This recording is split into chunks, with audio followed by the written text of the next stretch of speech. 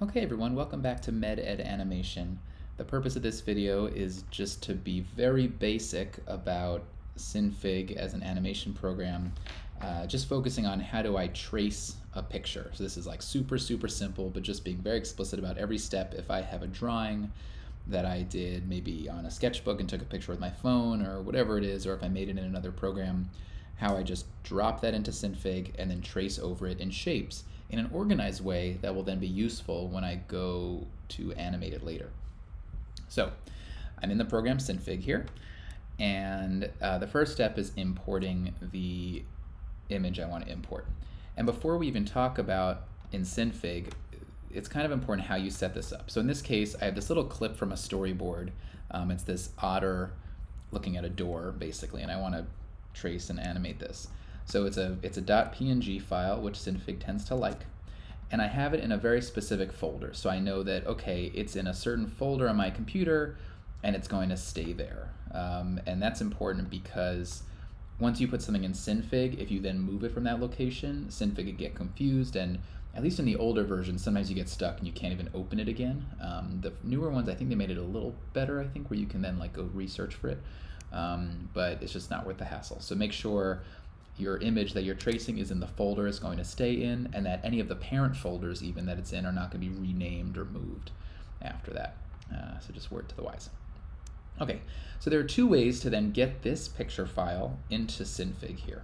So I have a new, just you know, a new default Synfig document here. Um, option one is I click and drag, and you see the plus sign comes up. Or option two is I go to File, Import, which is Control I. So they're both the same, but I'm just going to click and drag. Boop. Okay, that's actually tiny. Wow. Um, so, and then, so now I have this picture dropped in, and you see that on the right here, um, in your layers box, which might be a little different laid out than mine, um, there's now this, it's the same name I had on the picture on the PNG file. Let me see if I can make that more, yeah, c.png. And so that's now there. All right, now, uh, you know, with our typical handles here, I'm going to just make it bigger. So I'm gonna use this orange corner here to scale the picture.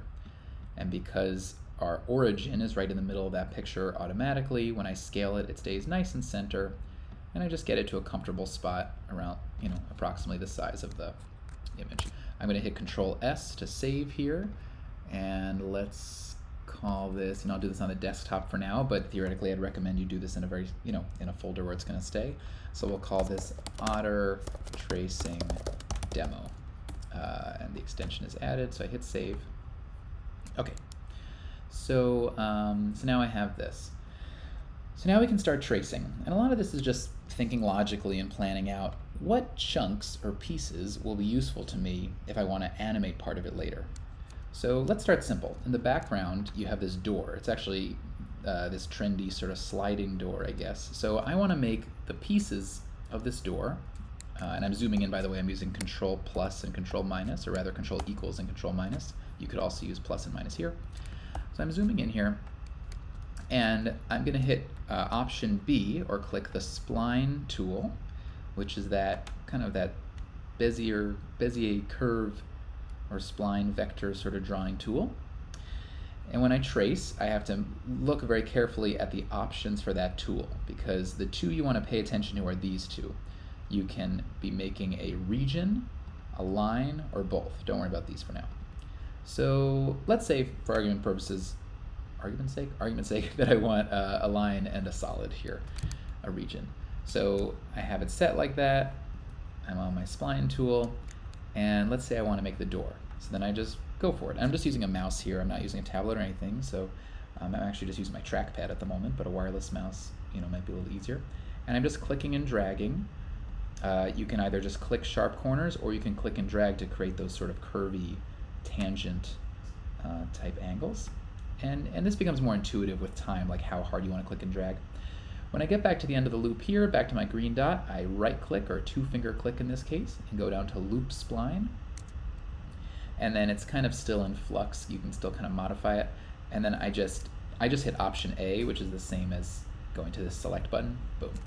And these are just the default colors that were set here. So it actually has a, this blue fill and red outline. Um, I'm often too lazy to um, set this every time before I draw. I just kind of draw everything and then fix the colors after. Um, but that said, I want to know, I'm going to need to see what's under that in a minute, but we'll cross that bridge. All right, so I'm just going to zoom in in the same way. Um, you know, actually I'll just make these outline, the default outline color black for now, just to be less annoying, and maybe I'll make this gray. So I just double click these boxes to change the outline and the fill color respectively. And again, you can always change it later. You can always edit every shape later. um, and by the way, right now we have our door is this line and this region here. Okay, so now I'm going to make this kind of hangery thing. Ooh, bye -bye. Okay. I'm going to make this hanger thing, and it's sort of just like a bar. So it's like a skinny rectangle, doing my thing. Doop -a -doop -a -doo. Looping, hitting control, uh, Option A, and now I have that rectangle, zooming in even more. I'm hitting Option B to go back to my spline tool. So I'm uh, constantly going Option A, Option B to toggle between um, like the pointer and the uh, spline tool. So Option A, now back to Option B. Boop. All right, and I'm just kind of taking it easy here. All right, I'm to zoom out a little bit see how I'm looking. So I'm looking pretty snazzy.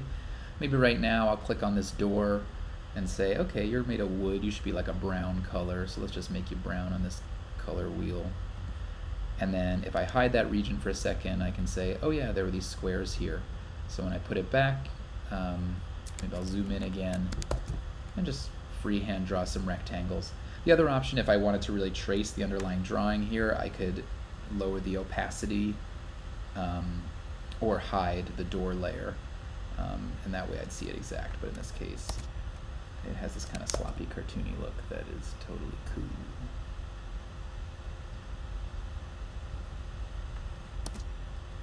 Alright, so I'll just kind of do those for now. And so obviously I can go in later and change these colors, make this a light brown or, you know, whatever I want to do, or dark brown, I guess. So let's say, let's say this is how I like the door. You can spend more time with it.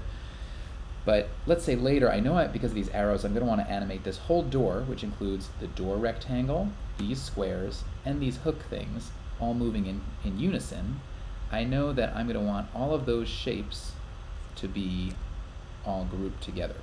So what I do is I go to my layers here, and I hold down the shift key and I just start hitting up, just like if I was selecting text or anything else. And I just keep watching the screen See now here I have a problem because I hit, when I go up more, I hit this bar that I don't want included. So let's just take what we have so far of this door and hit group, group layer. So now I have this folder and I'll call this whole door. Um, and then if I have other pieces like these hooks I want attached to that, I can select those also. And just like with Microsoft Word or whatever, I just hit Command X, like cutting and pasting. I cut in there, I paste it into the folder, and voila. So now those things are all there. But you notice when I did that, now this is um, behind the bar, so I know that, all right, I'm going to take this whole door layer and bump it up in front of the bar, right? So now what that means is that later, you know, I have this group layer, and if I wanted to later, I can move it all around, right? I can move it wherever, oops, that's not the button. I can move it, said, back and forth along here, right? Because now it's one big group. I can skew it, I can do all kinds of weird stuff. Whoop. Yeah, okay. So that's the general idea. Um, so, you know, if I were to proceed, other things I would do is I'd make a background layer.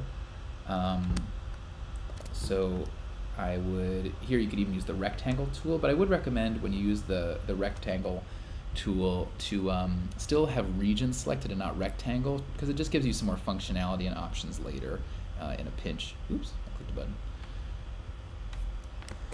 So maybe I do like get my rectangle tool and do like a like one rectangle for the uh, floor, another one for the overall background, but I put the background one behind the floor, and then I'd quickly change the color because right now, of course, I can't see what I'm doing here.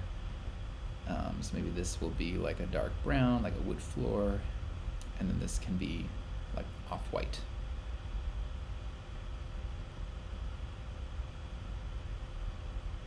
Okay. Um, one other fancy trick I'll tell you, because it'll help with the tracing process, is let's say you still wanted to see your drawing, and assuming it's on a white background, change the blend mode um, because there are a lot of blend modes where you can get rid of all this white and just see your sketch on top of your work that you're doing. So that would be like I go to blend mode here and I go from composite and let's say I switch it to like multiply should do it. Yeah, there you go. So multiply is sort of a thing that darkens, superimposes just the darkening parts and takes out the white. So now I see primarily my vector work so far, but when I toggle this on and off, I still see my line work underneath. So if I want to go trace this otter, you know, I can go ahead and do that now. Oops. So, um, where that? So yeah, so that's the basics of, of tracing. Um, I guess to take it, you know, the next step would be with this otter, it's basically a creative choice and it has to do with knowing whether or not you're going to animate or not. For example, if I plan to have all the different body parts of the otter moving, I would need to make a separate arm layer, a separate head, and have them all kind of connect together. But then again, maybe the otter is just sitting here and doesn't move, and the only thing that moves is like the tail wag. So then I can make, you know, this whole shape, I'll just do a quick, you know, the otter from head to toe, and just put some like lines in later. Maybe I'll do the leg as a separate thing just for convenience. But I see how I go behind the tail. I don't try to trace around it because you want to have everything in three-dimensional space. But then, you know, loop it, Option A. And now all I would do at the end is going to make my separate tail layer. And also remember, even if the drawing goes off the screen, still finish the anatomy off the screen because when you animate, those pieces may come into view, right? This whole tail might later, oops, this whole tail might later like wag into view or something. I don't know, I'm doing it terribly. Um, so you want to go beyond the bounds of what's visible. Same if I'm making this leg here, I'm not just going to stop right, I'm not going to do this and like trace around it, right? Because then that doesn't give you any wiggle room. So instead what I would do is picture the rest of the leg that's hidden. And then you could just put that layer behind it to save you later.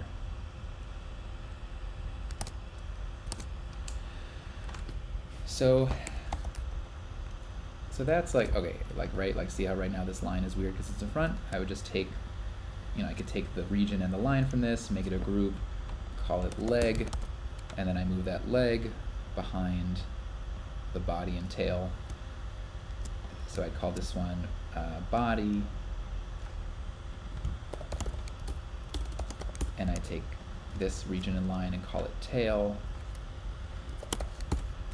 and then I'd select tail, body, and leg, put them in a group, and call that whole otter, right? And then I'd go back and if I wanted to add the ears, I would go back into my, maybe my body folder here, click this layer, oops, and, and you can, by the way, keep that initial drawing on top of all this to make it visible. So I go to whole otter, body, select something in the body, so I know that the next layer I draw will automatically go right on top of that. And see how, again, I'm going inside the bounds here. Just two of those, you know, and I would be more careful that thing. Uh, I think that worked. Make them darker so we can see them. Yeah, so those ears, those ears now exist.